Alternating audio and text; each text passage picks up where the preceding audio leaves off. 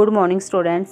Today we are going to start 17th chapter. बाल लीला इस पाठ में सूरदास जी ने कृष्ण की बाल लीलाओं का बहुत ही सुंदर वर्णन किया है। और सूरदास जी से पहले किसी भी हिंदी कवि ने कृष्ण की बाल लीलाओं का ऐसा अनूठा वर्णन प्रस्तुत नहीं किया। इस पाठ का उद्देश्य है बाल मन की कल्पनाओं से अवगत करवाना भेदभाव न करने का संदेश देना बच्चों के प्रति सजग रहने का संदेश देना और बच्चों की अटखेलियों की जानकारी देना, यानी कि बच्चे जो बचपन में शरारतें करते हैं, उनकी के बारे में जानकारी देना। तो सूरदास जी लिखते हैं, हरि अपने आँगन कछु गावत, तनक तनक चरननी सो नाचत मन ही मन ही रिझावत। अर्थात, श्री कृष्ण अपने आँगन में, घर के आँगन में कुछ गा रहे हैं वे अपने नन्हे नन्हे चरणों से नाचते हैं और अपने आप अपने ही चित्त को आनंदित कर रहे हैं। वह अपने ही मन ही मन में बहुत खुश हो रहे हैं। बाह उठाई, काजरी धोरी, गयनी टेरी बुलावत कबहुक बाबा नंद पुकारत कबहुक घर में आवत। कभी वह दोनों हाथ उठाकर कजरी धोरी आदि नामों से गायों को पुकार कर बुलाते हैं। इनकी कजरी और धोरी गायों का नाम रखा हुआ है उन्होंने और गैयों को बुलाते हैं। कभी नंद बाबा को पुकारते हैं और कभी घर के भीतर चले जाते हैं। माखन तनक आपने कर ले। तनक बदन में नावत, कबहू चित प्रतिबिंब खम्बल में, लोनी लिए खवावत।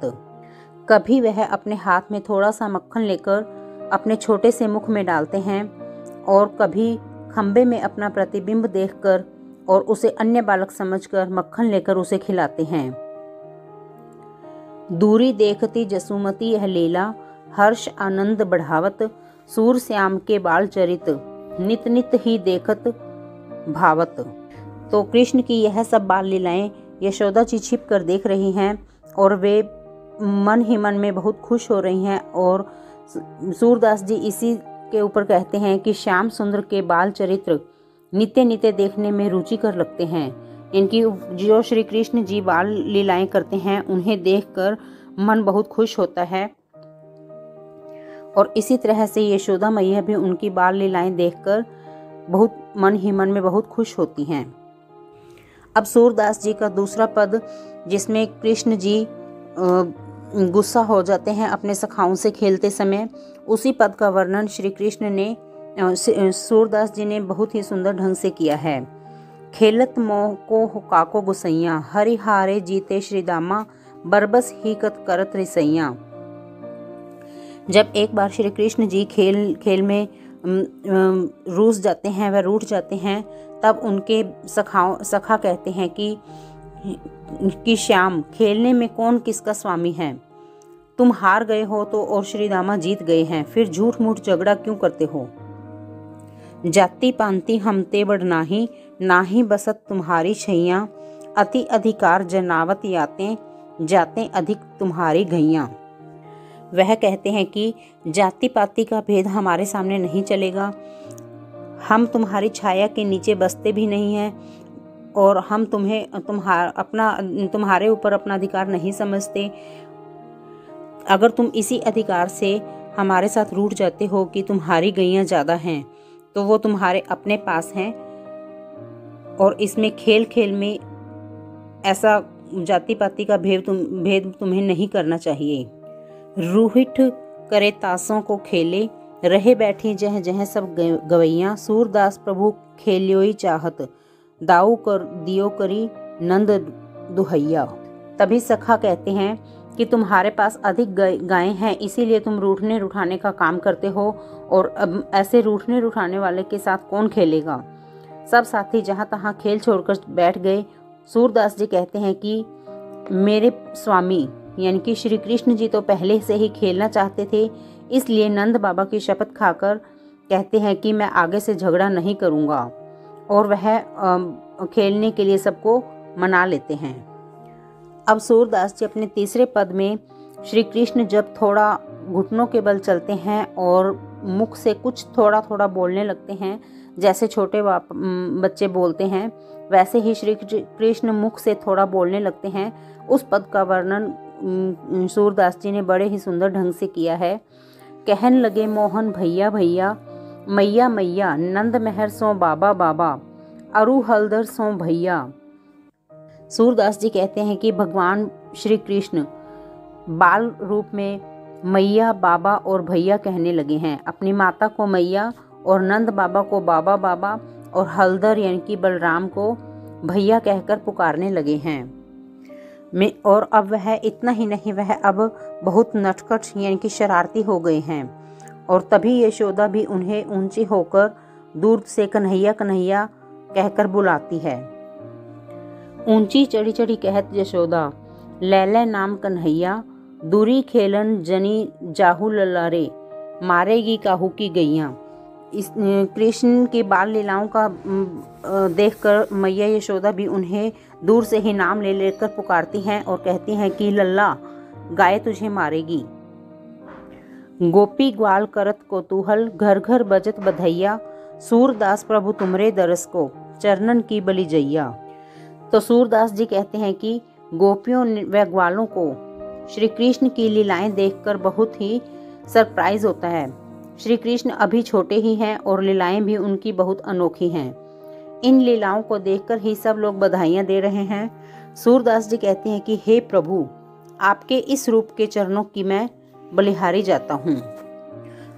अपने अगले पद में सूरदास जी ने कृष्ण की उन लीलाओं का वर्णन किया है जब श्री कृष्ण बलराम को की शिकायत मैया यशोदा से करते हैं कि वह मुझे बहुत यह कहकर चिढ़ाते हैं कि मैं उनका बेटा नहीं हूँ।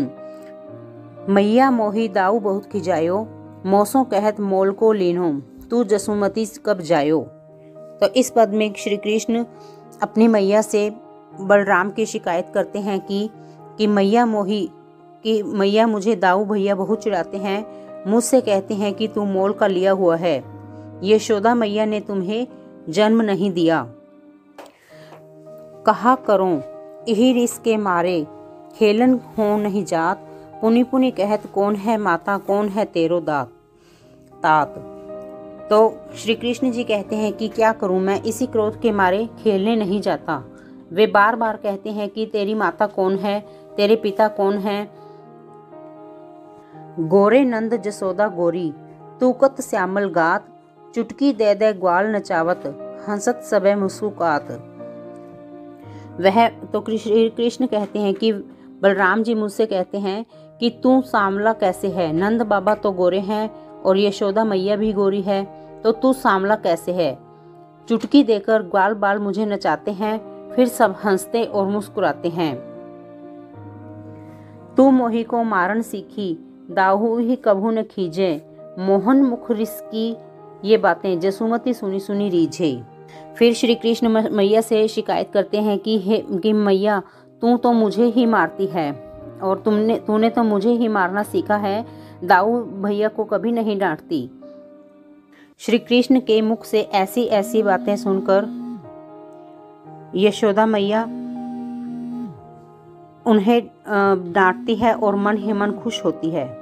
तुनहु कान है बलभद्र, चबाई जनमत ही को धूत सूर श्याम मोहि गोधन की सो। हो माता तू पूत। तब श्री कृष्ण यशोदा मैया श्री कृष्ण को कहती हैं कि, कन्हाई, सुनो, बलराम तो जन्म से ही चुगलखोर है, वह जन्म से धूर्त है। और मुझे गोधन यानी कि गायों की शपथ, मैं ही तुम्हारी माता हूँ और तुम ही मेरे पुत्र हो। सिखवत चलत जसोदा मैया अरबराई करी पानी गहावत डगमगाई धरनी धर पैया कबहुक सुंदर बदन बिलोकती और आनंद भरी लेत बलैया। कबहुक कुल देवता मनावती, चिरंजीव वहु मेरो कुंवर कन्हैया। इस पद में माता यशोदा श्री कृष्ण को चलना सिखाती हैं, और जब वे लड़खड़ाने लगते हैं, तब उसके हाथों में अपना हाथ पकड़ा देती हैं। डगमगाते चरण वे पृथ्वी पर रखते हैं कभी उनका सुंदर मुख देखकर माता का हृदय आनंद से पूर्ण हो जाता है और वे बलैया लेती हैं। कभी वह कुल देवता को मनाने लगती हैं कि, मेरा कुंवर कन्हाई चिरंजीवी हो। कभी पुकार कर बुलराम को बुलाती हैं और कहती हैं कबहुक बल को टेरी बुलावत ही आँगन खेलो दो भाई, सूरदास स्वामी की लीला। अति प्रताप बिलसत नंद रैया। तो कभी वह बलराम जी को बुलाती है और कहती है कि दोनों भाई इसी आँगन में मेरे साथ खेलो। सूरदास जी कहते हैं कि मेरे स्वामी की यह लीला श्री नंद राय जी का प्रताप और वैभव अत्यंत इस लीला ने श्री नंद राय जी का प्रताप और वैभव अत्यंत बढ़ा दिया है। Thank you